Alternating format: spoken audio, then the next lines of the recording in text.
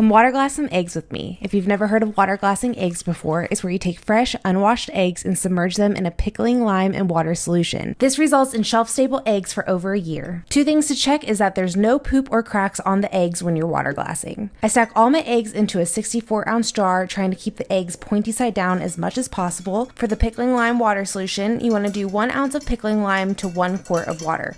Mix it up really well and pour over the eggs. Top of the lid and store away. It's really that simple.